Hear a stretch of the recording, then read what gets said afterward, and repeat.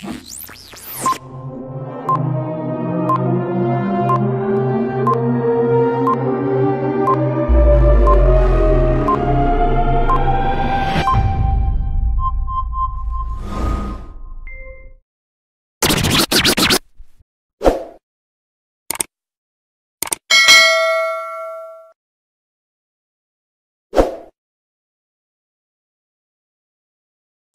Assalamualaikum Sultan Edu viewers. Ya back to Miss Marlis in our channel Sultan Edu. In this occasion ya we are going to discuss Continue about our last topic. It is about job interview part 2 Jadi bagi para job seeker ya silahkan disimak Disaksikan dan ditonton video ini sampai habis. Dan tentunya diaplikasikan nanti di job interview job seeker. But before going to watch this video, don't forget to like, comment, share, and subscribe Sultan Edu channel. Channel edukatif, inspiratif, and inovatif. Let's check it out. Oke okay, job seeker Untuk pembahasan kita kali ini lebih padat daripada pembahasan kita yang part 1 ya Melanjutkan diskusi kita yang di part sebelumnya yang sebelumnya kita telah mendiskusikan dua poin saja yaitu yang pertama tell me about yourself and also uh, our strength. Nah, untuk kali ini kita tambahkan 8 poin untuk memper uh, ya atau memperkaya dan juga melengkapi bahan job interview sahabat Sultan Edu yang sedang ya menunggu panggilan interview dari perusahaan atau industri yang di-apply. Oke, okay, what are they? Apa saja ke mereka? The first one is about weaknesses ya, apa yang menjadi kelemahan kita tapi kelemahan di dalamnya tersisip juga hal yang positif. And the second one is about our job experience. Apakah kita punya pengalaman pekerjaan sebelumnya? And then about our management. Ya, bagaimana caranya memanage atau mengelola stres atau tekanan di sebuah pekerjaan. And number four is about ya priority ya cara atau mengutamakan pekerjaan daripada yang lainnya. The next point is about accomplishment. Ya, ini pencapaian selama dalam kita bekerja sebelumnya. The next point, aim or goal, tujuan atau lima tahun yang ke depan, apa yang akan kita uh, capai atau kita dapatkan. And the next is about salary atau gaji. Nah, ini adalah hal yang uh, sensitif ya terkadang untuk kita jawab berapa angka yang mesti kita tetapkan untuk gaji kita. Dan the last one is about questions. Pertanyaan. Nah pertanyaan ini berpusat dari interviewee atau si uh, pencari kerja tadi. Nah ini pertanyaan yang diajukan oleh interviewee kepada interviewer. Silahkan digunakan sebaik mungkin sesuai dengan kebutuhan atau yang apa yang menjadi keluhan bagi job seeker Well, kita masuk lagi pembahasan kita. Yang pertama itu mengenai what are your weaknesses ya. Apa sih yang menjadi kelemahan bagi kita job seeker? Nah, ketika talking about weaknesses tentunya itu bukan hal yang negatif semua ya, tapi juga terselip ya kualitas positif kita di dalamnya. And when a interviewer ya ask about what are your weaknesses ya, how to answer it? Ya bagaimana ya cara menjawab pertanyaan ini? Oke, job seeker bisa jawab seperti ini. I often get bored when I have to do something repeatedly for a long time ya. Saya sering juga sih merasa bosan ketika melakukan sesuatu yang berulang-ulang dalam jangka waktu yang lama. I'm also a perfectionist and sometimes it took me a long time to finish a job ya. Saya juga perfect orangnya atau sempurna ya. Dan terkadang itu uh, membutuhkan waktu yang lama juga bagi saya untuk menyelesaikan sebuah pekerjaan. Oke, mungkin seperti apa lagi yang bisa kita jawab? I'm sometimes slower in completing my task compared to others because I really want to get things right ya. Saya kadang-kadang uh, lelet juga ya atau agak lambat dalam menyelesaikan tugas saya dibanding dengan yang lain ya. Karena ya karena saya benar-benar menginginkan ya mendapatkan sesuatu itu dengan yang benar dengan hasil yang baik ya I will double or triple check documents and files to make sure everything is accurate. Ya, saya akan mencek ya dokumen-dokumen atau file itu dua kali atau bahkan tiga kali ya untuk meyakinkan segala sesuatu itu lebih baik dan akurat hasilnya. Nah, itu juga bagian oh yang positifnya kenapa kita tuh slower ya karena kita ngecek tugas itu more than one, lebih dari satu kali. Okay, job seeker, talking about weaknesses is a long ya. Ketika membicarakan weaknesses ini memang juga agak panjang dan lumayan rumit juga ya. Kenapa? Agar kita nanti pas mengutarakannya, weaknesses itu tidak bermakna negatif secara keseluruhan. Oke, okay, bagaimana caranya lagi ya untuk menjawab kelemahan kita ini agar berisikan makna yang positif juga? Oke, okay, I talk a lot ya. When things don't go as planned, I will tell my colleagues verbally to stay on the track ya. Saya membicara banyak ketika sesuatu hal itu atau pekerjaan tidak sesuai dengan yang direncanakan. Saya akan berbicara kepada tim kerja saya untuk tetap berada di jalurnya. Jadi intinya jangan menyerah dengan sesuatu yang direncanakan tapi ada uh, hal yang mesti dilakukan selanjutnya. Okay, how about the next ya? I have created a time management system ya. Saya telah membuat ya bagaimana sistem pengaturan uh, waktu ya which allows me to list all my duties and organize my deadlines so I have a clear idea of what I need to do. Ya, yang mana dengan time management ini ya akan memungkinkan saya ya untuk uh, bisa bekerja atau juga mengatur pekerjaan sesuai dengan deadline ya atau bahkan sebelum deadline sudah selesai. Jadi saya memiliki pemikiran yang lebih cermelang terhadap apa yang ingin saya lakukan. The next point is about job experience. Nah, apakah job seeker punya pengalaman pekerjaan sebelumnya? Ya, gambaran pertanyaan secara umum seperti ini. Why did you leave your last job? Ya, kenapa kita meninggalkan pekerjaan yang sebelumnya?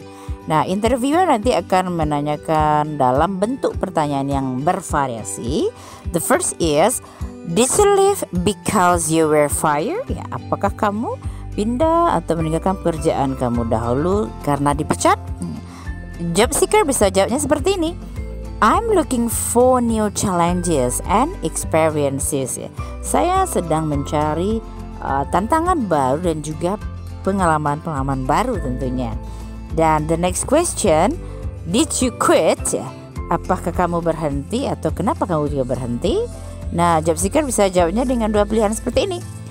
I feel I wasn't able to show my talents ya saya merasa di pekerjaan yang dulu itu saya nggak bisa ya untuk menunjukkan ataupun juga mengembangkan bakat atau skill yang dimiliki. And the next answer, I'm looking for a job where I can grow with the company. Saya memang sedang mencari pekerjaan di mana saya bisa berkembang ya atau tumbuh dengan perusahaan yang saya uh, geluti nantinya. And then the last question, uh, where you laid off ya? Apakah kamu diberhentikan? Nah, job seeker bisa jawabnya seperti ini. I'm looking for a job that suits my qualifications ya. Saya memang sedang mencari pekerjaan yang sesuai dengan kualifikasi saya. Oke, jadi intinya jawabannya bernilai positif semuanya job seeker. We are going to next point is about management ya pengaturan pengelolaan. Nah, gimana ya bentuk pertanyaan nanti si interviewer kepada interviewee? How do you manage stress and pressure? Bagaimana ya cara mengelola stres dan juga tekanan dalam pekerjaan? Nah, job seeker, gimana ya cara jawabnya? Oke, okay. listen please. My first step in managing stress is to try to circumvent it by keeping my work process very organized and my attitude professional. Ya, langkah pertama saya dalam mengelola stres itu mencoba untuk mengelak ya atau mengalahkan yang namanya stres dan pressure tadi dan tetap uh, bekerja dengan sebaik mungkin tentunya dengan secara uh, teratur proses kerjanya dan juga sikap saya juga harus profesional dalam menyikapi stress and pressure.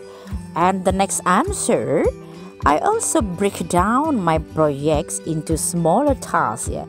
Saya juga mencoba untuk ya membuat ini project ini bagaimana itu smaller task ya, kerjaan yang kecil tidak yang berat. And I make a list of action items with reasonable deadlines ya. Saya akan membuat daftar-daftar action ya yang mungkin ini um, menjadikan deadline yang bisa sampai ke deadline yang masuk akal ya jadi tidak melewati masa deadline-nya and then I don't think it's a pressure because it is the responsibility of my work and it is also a great change to improve the quality of myself ya. Dan saya berpikir ini bukanlah sebuah tekanan ya, karena itu adalah sebuah tanggung jawab dari pekerjaan saya. Dan itu juga adalah tantangan yang besar ya untuk meningkatkan kualitas dari diri saya pribadi. The next is about ya priority ya prioritas ya. How do you prioritize work ya? Bagaimana ya cara mengutamakan atau memprioritaskan pekerjaan? Gimana nih uh, job seeker cara menjawabnya? Oke okay, please listen me. I equip my phone with the Trello app ya which has been helping me work for a while. Saya melengkapi atau membekali HP atau gadget saya ini dengan aplikasi Trello ya yang nantinya itu telah bisa membantu pekerjaan saya untuk lebih mudah. Oke. Nah job seeker tahu nggak sih apa itu itu sih Trello app? Nah Trello ini adalah uh, aplikasi ya yang berbasis web yang digunakan untuk memudahkan ya dalam proses kolaborasi antara tim dalam mengembangkan proyek secara lebih efektif. Dan tentunya ini sangat membantu kebutuhan kerja kita nantinya. Okay, the next answer. I always see work from two things, urgency and importance ya. Saya selalu melihat pekerjaan ini dari dua hal katanya. Yang pertama itu adalah mendesak and penting, important, sebuah kepentingan. Now from this consideration, uh, I will always start doing work that is urgent and important. Then urgent important and word that is not in both katanya. Nah, dari uh, kedua pertimbangan ini saya akan selalu memulai uh, melakukan pekerjaan itu bahwa mereka itulah mendesak dan penting. Kemudian mendesak dan penting, mendesak dan penting. Nah, oke. Okay? Jadi seperti itu mempertimbangkan pekerjaan itu dua dari dua hal. Yang pertama ada urgency and importance. What is accomplishment? Apa ya accomplishment? Accomplishment is pencapaian. Interviewer nantinya akan berikan pertanyaan like this. What is your greatest accomplishment? Apa pencapaian terbesarmu? Ini mungkin yang telah kita lakukan sebelumnya ya. So job seeker you can answer like this.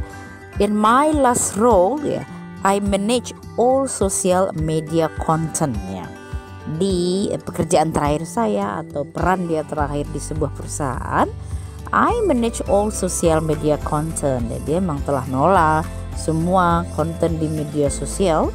I notice other brands were experimenting with the videos and getting great engagement. Dan saya telah perhatikan uh, bentuk-bentuk lain atau uh, konten lain di yang sosial media selain dari yang telah dia kelola yang ini bisa menjadi apa ya eksperimen ya atau percobaan dengan video dan juga nantinya akan mendapatkan keterlibatan yang besar dia dalam hal ini. Nah, ini sebuah accomplishment juga dari si job seeker sebelumnya. And what is the next accomplishment? So, I asked my boss if we could do a low budget task she agreed and I produce a video. Nah, sehingga ya saya bertanya ataupun juga meminta kepada bos ya, jika kita memiliki budget yang rendah atau low ya mereka menyetujui dan tentunya saya memproduksilah sebuah video then ya yeah, we found that the conversions increased by 40% which is a large number kemudian ya kita menemukan bahwa perubahan ini meningkat ya hingga 40% Nah ini juga merupakan angka yang besar loh job seeker. Talking about aim or goal ya tujuan. Ini interviewer nanti menanyakan seperti ini ya pertanyaannya. Where do you see yourself five years from now? Ya Bagaimana uh, kamu nanti melihat diri kamu itu lima tahun yang akan datang ya dari sekarang Nah tentunya melalui pertanyaan ini uh, interviewer ingin mengetahui ya tujuan kita sebagai job seeker. Yang sekali lagi kaitannya itu dengan karir bukan kehidupan pribadi. Jadi jika salah satu tujuan kita itu adalah berkeluarga ya jangan disebutkan ya. Ini aduh ini bukan malah malah jawabannya diinginkan. Tentunya hati-hati dalam menjawab. Nah, perlu juga kita menciptakan kesan yang ambisius ya, tetapi tidak ter terlalu ya. Sampai-sampai nanti pewawancara memandang kita ini kita ini sebagai sebuah ancaman ya atau saingan bagi mereka. Dan tentunya nanti uh, seperti apa ya yang bagus untuk kita jawab sehingga interviewer nah ini aman dan bagus juga nih untuk diterima nantinya di perusahaan kita. Oke job seeker bisa menjawab seperti ini ya I would have liked to improve my skill ya saya ingin ya meningkatkan skill saya atau kemampuan saya I would have liked to create more of a name for myself in the industry or company ya. Saya ingin menciptakan diri saya ini menjadi yang lebih di industri atau perusahaan ini. And then I would have liked to become more independent in what I do and product ya. Dan saya ingin menjadi ya lebih independen alias tidak terpengaruh dengan yang lainnya ya terhadap apa yang saya lakukan dan saya, saya produksi nantinya. And then I would have liked to enhance my knowledge. Saya ingin memperkaya atau meningkatkan lagi ilmu pengetahuan saya. And the last one, I would have liked to achieve a higher position. Dan tentunya saya ingin untuk mendapatkan posisi yang lebih tinggi terlebih besar lagi porsinya. Okay, job seeker. The next point is about salary.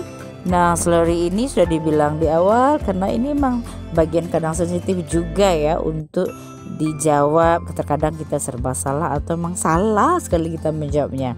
Nah, pertama ya, sebelum kita masuk ke perusahaan yang kita apply atau kita nanti menunggu dari uh, interview kita dari perusahaan.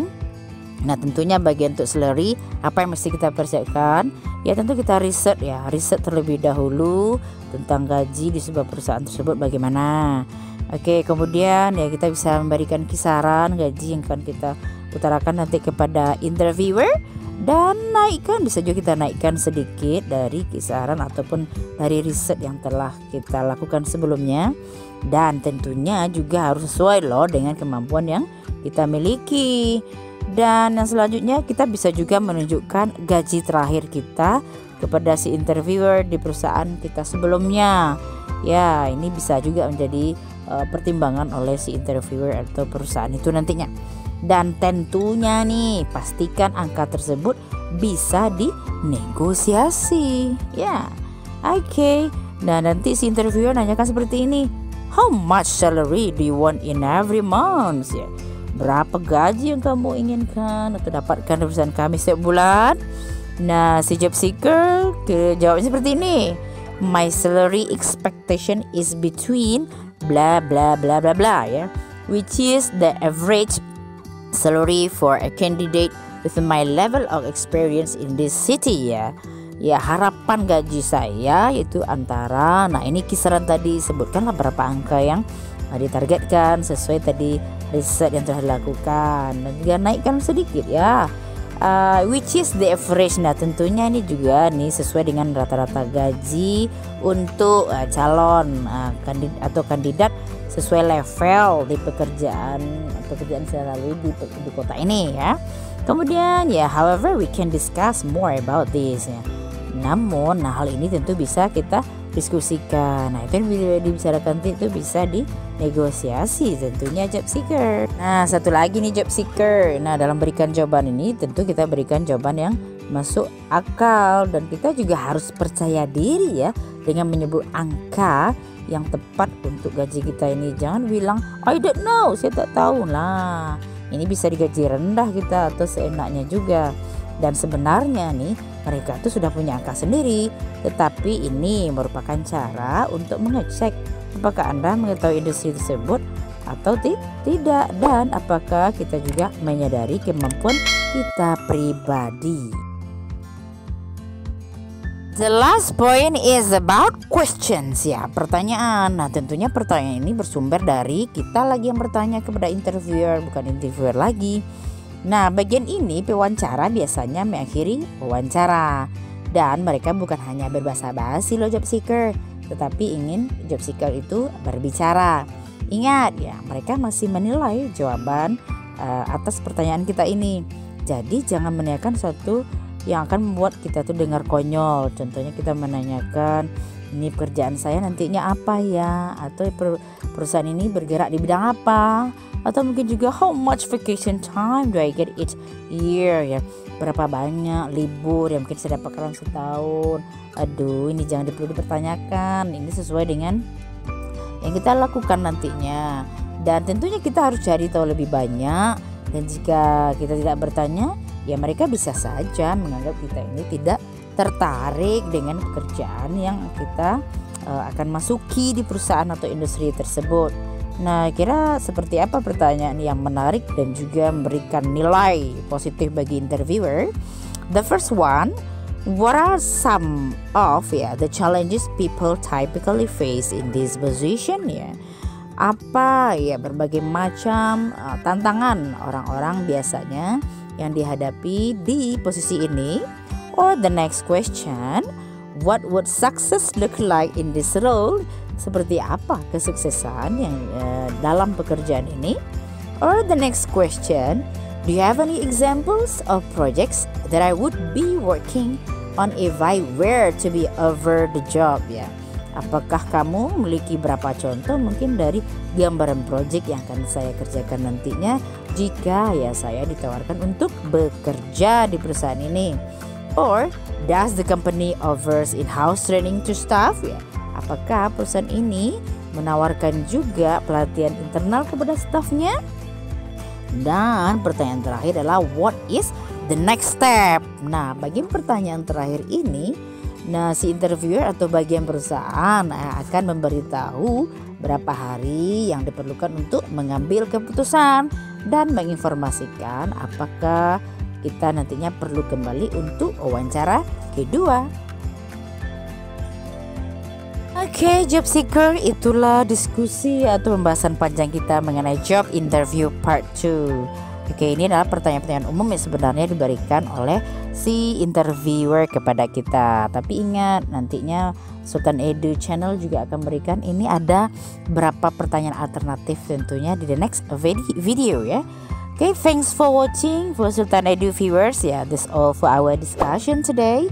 Please always watch the next news videos from Sultan Edu. Don't forget to like, comment, share, and subscribe Sultan Edu channel. Channel edukatif, inspiratif, and innovative. See you for the next yeah, discussion. That's all for today. Wassalamualaikum warahmatullahi wabarakatuh.